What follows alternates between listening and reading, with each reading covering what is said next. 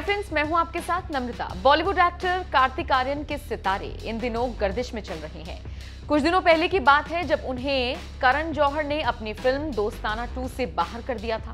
अब लीजिए बॉलीवुड के इस दमदार एक्टर को एक और बड़ा झटका लगा है। खबर है कि कार्तिक आर्यन को शाहरुख खान ने अपनी एक फ़िल्म से बाहर कर दिया है। बताया जा रहा है कि क्रिएटिव डिफरेंसेस के कारण कार्तिक ने खुद ही शाहरुख खान की फ़िल्म को छोड़ दिया है। एक लीडिंग वेबसाइट की रिपोर्ट की माने तो कार्तिक आर्यन शाहरुख खान के प्रोडक्शन के बैनर तले बनने वाली एक फ़िल्म में काम करने वाले थे। इसके लिए वो साइनिंग अमाउंट ले चुके थे। पर क्रिएटिव डिफरेंसेस के कारण कार्तिक आर्यन ने ये फ़िल्म छोड़ दी है। कार्तिक आर्यन ने साइनिंग अमाउंट वापस कर दिया है। हालाँकि इस फ़िल्म की ऑफिशियल अनाउंसमेंट नहीं की गई थी, लेकिन इसी साल इसकी शूटिंग शुरू होनी थी, जिसमें लीड हीरो कार्तिक थे। फ़िल्म का डायरेक्शन अजय बहल कर रहे थे, जबकि शाहरुख खान का रेड चिलीज एंटरटेनमेंट इसे प्रोड्यूस कर रहा था। बताया जा रहा है कि इस फ़िल्म में कार्तिक आर्यन के ऑपोजिट कटरीना कैफ काम करने वाली थी। खबरें तो ये भी हैं कि खुद शाहरुख ने ही कार्तिक को इस फ़िल्म से किन्हीं कारणों की वजह से हटा दिया है।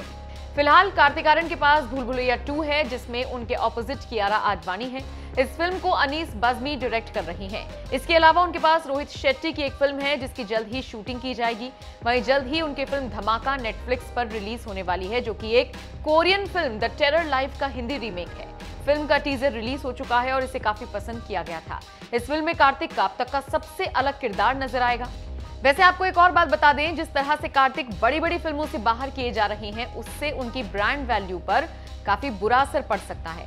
बीते कई दिनों से कार्तिक इन्हीं वजहों से चर्चाओं में बने हुए हैं। कई लोग बॉलीवुड माफियाओं पर अपना गुस्सा ज़ाहिर कर रहे हैं। कुछ लोगों का कहना है कि कार्तिक को भी सुशांत की तरह परेशान किया जा रहा है। हालाँकि, इन फ़िल्मों से बाहर होने पर कार्तिक की तरफ़ से कोई बयान सामने नहीं आया है। इस तरह की खबरों पर वो चुप्पी साधे हुए हैं। वैसे कार्तिक आर्यन से जुड़ी खबर पर आपका क्या कहना है? कमेंट करके हमें ज़रूर बताएँ।